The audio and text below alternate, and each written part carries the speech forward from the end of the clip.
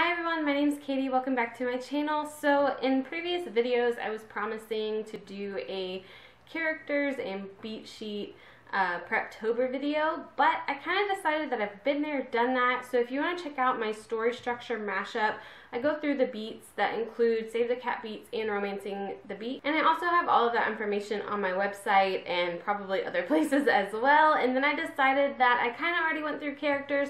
If y'all want to check out my videos that have like Story Genius and creating character arcs, um, a couple of those might be from my live videos, but I think they're also in my Preptober and Nano playlist. So be sure to check those out. And I also have a video out on Notion and how to do your outline there, which I'm about to show you. And I think I've also done drills about writing uh, prompts for your characters to get their voice, but this film I've decided to do today is more vlog style for finishing up Preptober for myself and I hope that there is helpful tips along the way for you. So here's what my Notion looks like. I've shown y'all before, but so in here, I just keep track of stuff, but if I go to scenes, I have my roadmap right here, and these scenes, they might as well be called uh, chapters, because that's what I end up putting there. But here's my beat sheet mashup.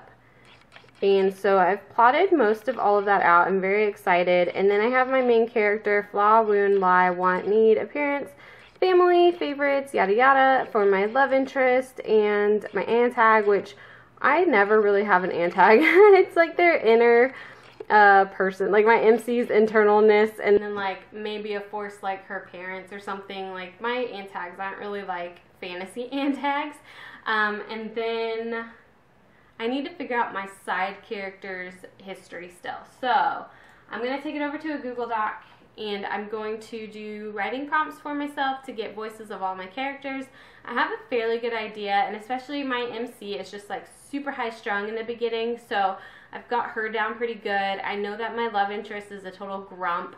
Um, I almost wish I was doing the sunshine grump uh, trope, but my girl is not all sunshine. So, um, and then I have side characters to figure out, and um, yeah, a little bit. I just have like a little bit left. I'm so excited. So in one of my other videos, I talked about how I was trying to put in like the co-ed softball league and I wasn't sure how it was really going to fit and tie in and realized, you know, it doesn't. But my side characters could have that as their hobby and my main character could go with them meet someone and um, which puts her and the love interest uh, adds tension for them and then um, can go back for like just for fun and then I have it being like the saving thing for my love interest later. So I kind of tied it in just a little bit, just enough, and um, I'm really happy with that, but I've got to figure out the rest. I know the grounding, they have their apartment, they have where they work,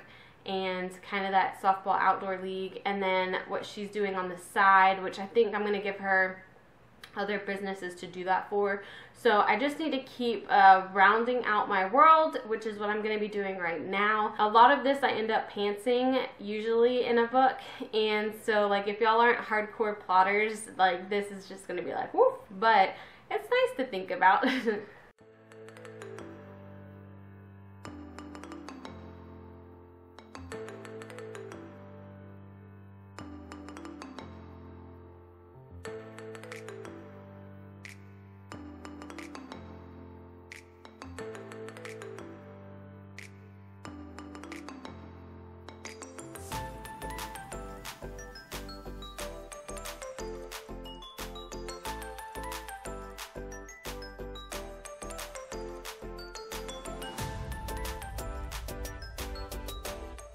I never know how to handle families. Like, I feel like I'm creating the same family system in all of mine where the parents are both there because there were so many young adults where parents weren't there anymore. And now I'm writing adult.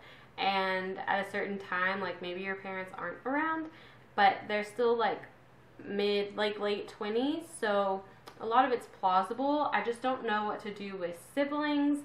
So I think my girl's gonna have an older sibling, but I kind of already went this route in another book where like they were successful and so they feel like they're not as successful. So I'm torn on if I need a different sibling dynamic for her.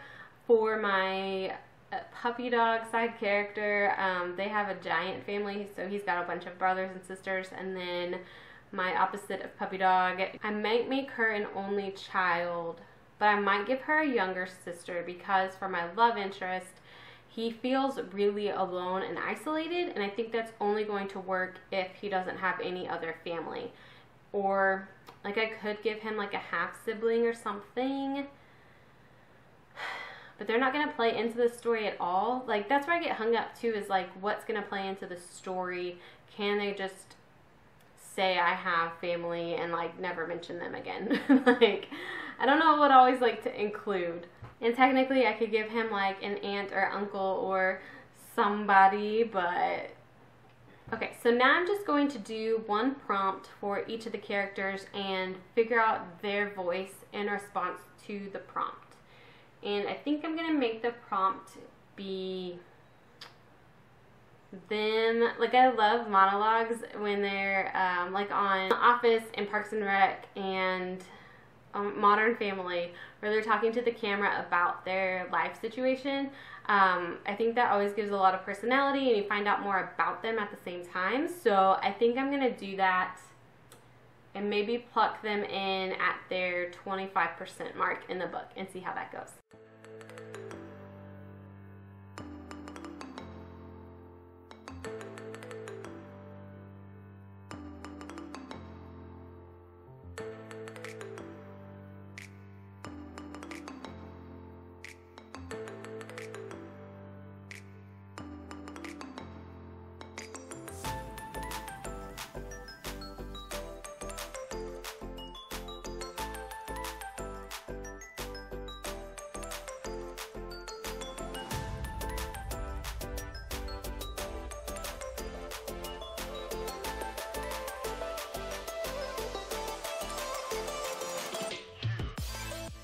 Okay, so I feel really good about this session. I got all their thoughts down about each other um, and how everyone's reacting to everyone being in each other's lives, how they are now. So um, I think that was a lot of fun. I love doing writing prompts like this where you get their voice and like get to hear from them.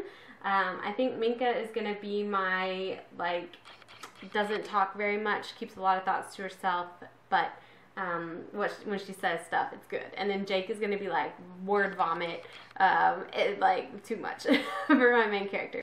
And then kind of like Alaric is my love interest, and he is a grump. He doesn't want to talk really much either, but he's kind of like Luke off Gilmore Girls plus Joe, I think, from Ginny and Georgia. And so I'm kind of vibing on that mix. And then um, my MC who's high strung and anxious, but she's trying to relax. So she's going to kind of be a roller coaster for everybody. um, but yeah, I can't make Minka and Alaric too close personality wise and voice wise. So I'm going to have to tweak this a little bit. But I'm very, very excited. Um, I figured out their families, figured out their voice. So I think I'm ready for Nano. Let me know if you are in the comments below or what else you're working on to finish up. Thank you guys. I hope y'all enjoyed and I will see y'all in the next video. Bye.